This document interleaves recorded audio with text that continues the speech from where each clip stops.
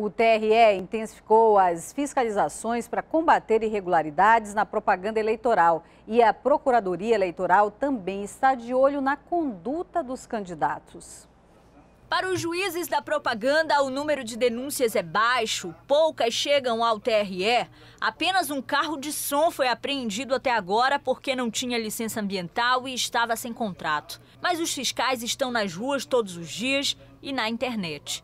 Há uma comissão de plantão no período da manhã e uma comissão de plantão no período da tarde que saem pelas ruas da cidade verificando eventuais irregularidades.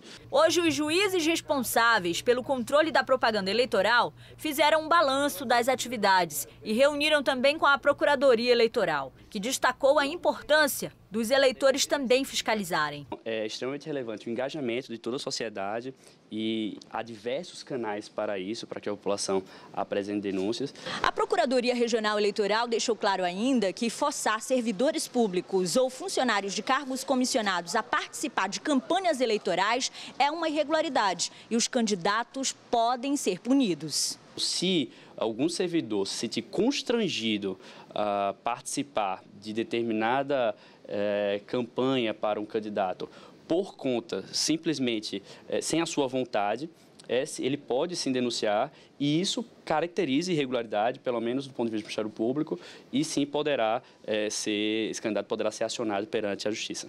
A Veja publicou na internet nesta segunda-feira que 47 funcionários do governo denunciaram ao Ministério Público que foram demitidos por não aceitarem participar das caminhadas e ações de campanha da candidata Rebeca Garcia. O caso é acompanhado pela Procuradoria Regional Eleitoral. Em nota, o governo informou que a notícia publicada no portal da Veja é inverídica e que a orientação do governador é que não seja permitida propaganda eleitoral ou que servidores façam campanha em órgãos públicos. As denúncias de irregularidades na propaganda podem ser feitas pelos números que estão agora no seu vídeo. Eduardo Braga, candidato a governo pelo PMDB, foi o entrevistado de hoje do programa Agora. Vários assuntos como educação, saúde, segurança pública, emprego e renda foram discutidos em 15 minutos. O candidato Eduardo Braga disse que vai atuar com urgência em vários setores. Queremos enfrentar o caos da saúde pública e zerar as filas na saúde pública em 120 dias. Queremos enfrentar o desafio do desemprego com um programa que baixa os ICMS na cesta básica, no óleo diesel, na gasolina, que encaminha um novo projeto de incentivos fiscais para o polo industrial, para que nós possamos retomar a geração de emprego e renda no polo industrial. No interior do estado, as prioridades vão ser infraestrutura e educação. Existem centenas de obras paralisadas no interior do estado, existem escolas inacabadas, escolas que estão abandonadas, fechadas por falta de ação do governo do estado. Retomar o projeto Jovem Cidadão, que é um projeto educacional, mas ao mesmo tempo social, tanto na capital quanto no interior. Nessa quarta-feira, quem participa da rodada de entrevistas é a candidata Rebeca Garcia, do PP.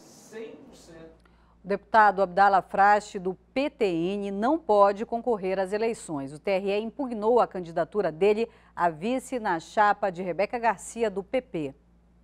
O pedido de impugnação da candidatura do deputado estadual Abdala Frache, vice na chapa de Rebeca Garcia, do PP, foi o primeiro a ser julgado. O juiz Felipe Turi, que pediu para analisar o caso na semana passada, foi o último a votar e hoje acompanhou a corte. Por unanimidade, o Pleno acompanhou o parecer do Ministério Público Eleitoral e considerou Abdala Frache inelegível. O TRE considerou o fato de Abdala Frache ter sido condenado duas vezes na Justiça Federal por formação de cartel para manipular preços de combustíveis em Manaus. Os advogados do candidato chegaram a alegar que esse crime não se enquadra na lei eleitoral. Mas para o Ministério Público Eleitoral se trata de um crime contra a economia popular previsto na lei da ficha limpa e que prejudica o coletivo. Por isso, Abdala Frache não pode concorrer às eleições. Como disse, a partir de agora, uma decisão da coligação. É, pode continuar concorrendo normalmente sob o registro, sob judice, é, com recurso Tribunal Superior Eleitoral, recurso até a última instância. Isso, a partir de agora, é uma decisão da coligação que será tomada provavelmente até o final do dia. O pedido de impugnação foi feito pela coligação Renovação e Experiência de Eduardo Braga. Agora, Rebeca Garcia só tem duas opções: buscar recurso no TSE e manter a campanha ou substituir Abdala Frache. Tudo antes das eleições.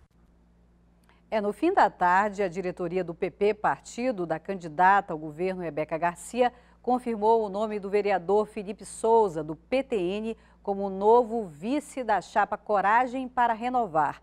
A indicação foi feita pelo próprio PTN durante uma reunião. Felipe substitui Abdala Frache, que também é do PTN. Daqui a pouco, aposentado é preso por abusar de adolescente de 15 anos na zona norte da capital. E ainda, 150 quilos de cocaína são apreendidos em barco no porto da Manaus Moderna. Nós voltamos já já.